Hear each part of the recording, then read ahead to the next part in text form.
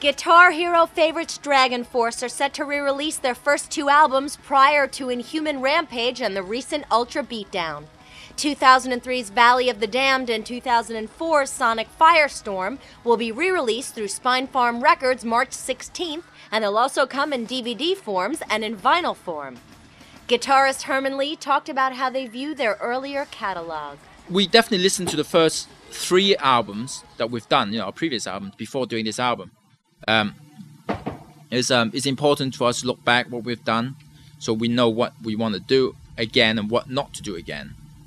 You know, what we've overdone on the last album. I think Inhuman Rampage definitely a shred fest. It was fast all the way through.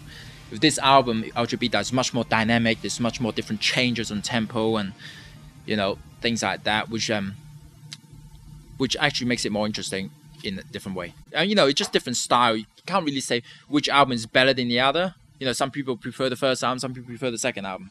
Yeah, but I think this album definitely, you know, is um got a different angle to the other ones.